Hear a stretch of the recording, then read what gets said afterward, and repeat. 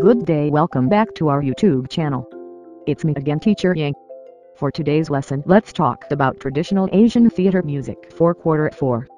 Before we proceed to our discussion make sure that you like, share and subscribe to our channel.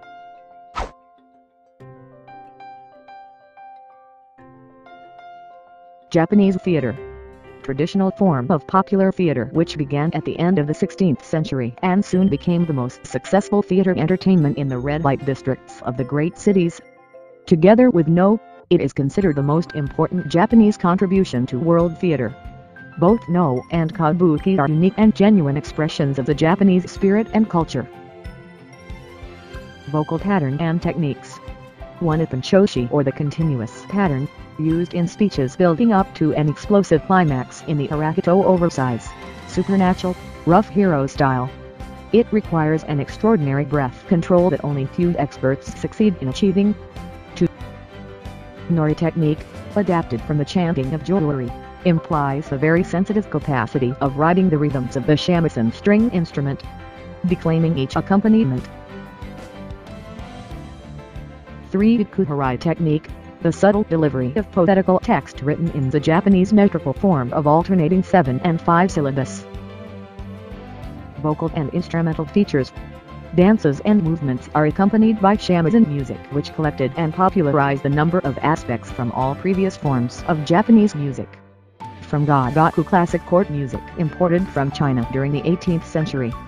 Kagura performed in Shinto shrines Noh chant derives from Shomyo, the sophisticated and rich tradition of Buddhist chanting, down to the folk and fashionable song of the day. The most popular shamisen music was called Nagauta Long Song, which reached the golden age in the first half of the 19th century as dance music for the henshimono or quick-changed pieces.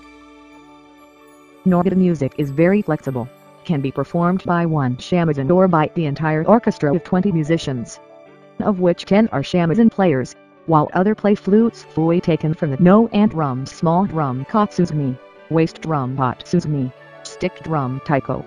Shamisen, three-stringed instrument. Kotsuzumi, small shoulder drum. Otsuzumi, waist drum. Taiko, stick drum.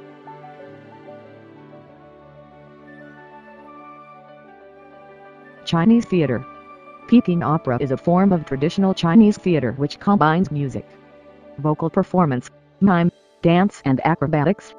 It arose in the late 18th century and became fully developed and recognized by the mid-19th century.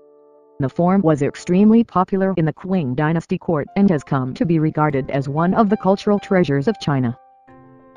The vocal requirements for all of the major roles were greatly reduced for Peking opera. The Zhou, in particular, rarely has a singing part in Peking opera. Unlike the equivalent role in Kunqu style, the melodies that accompany each play were also simplified and are played with different traditional instruments than in earlier forms.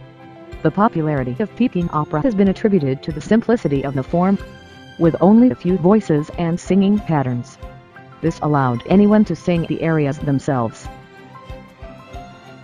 Vocal and instrumental features Performances are accompanied by music, usually played on three types of instrument, wind instruments, string instruments and percussion. The main instruments are Chinese in origin. The jinghu, the two-stringed instrument played with a bow. The yulikan, a four-stringed instrument that is plucked. A sanxian, the three-stringed instrument also plucked. The suona horn, Chinese flutes and a variety of gongs and cymbals. The melodies are rhythmic and graceful.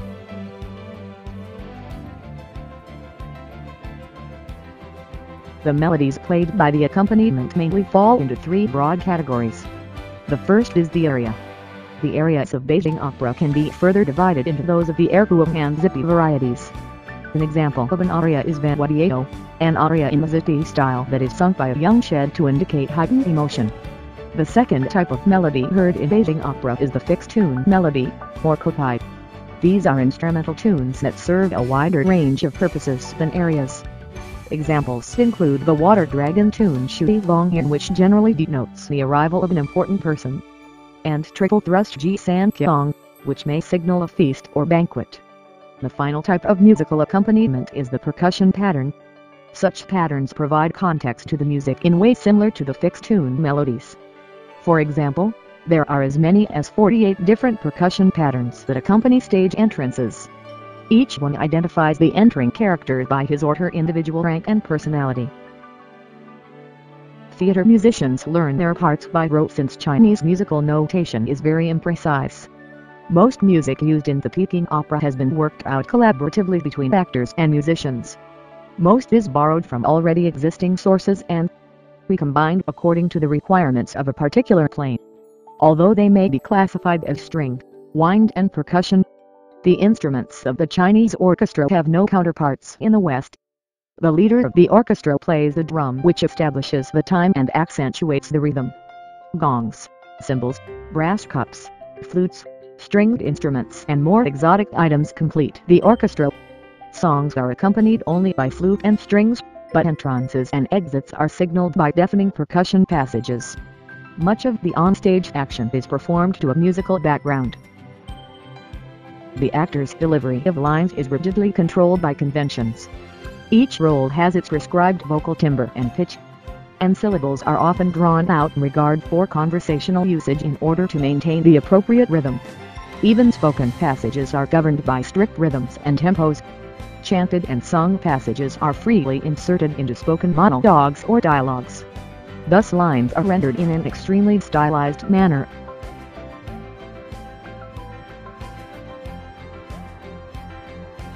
Indonesian Theater Wayang Kulit, shadow puppets prevalent in Java and Bali in Indonesia and Kelantan and Terengganu in Malaysia are without a doubt the best known of the Indonesian wayang.